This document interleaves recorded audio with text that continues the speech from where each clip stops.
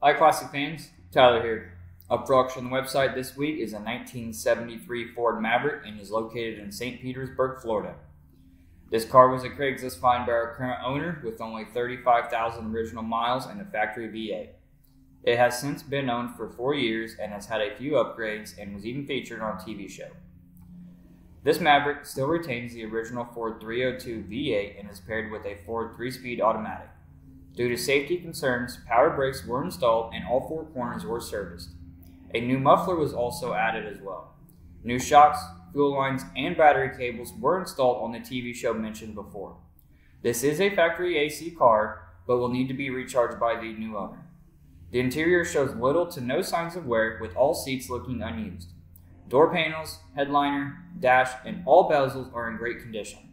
An aftermarket stereo has been installed and sounds great.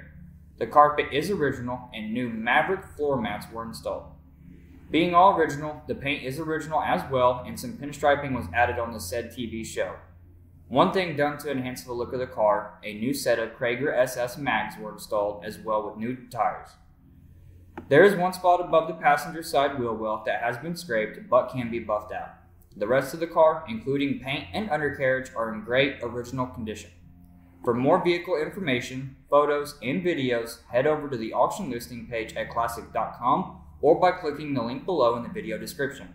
Thanks for watching and good luck bidding.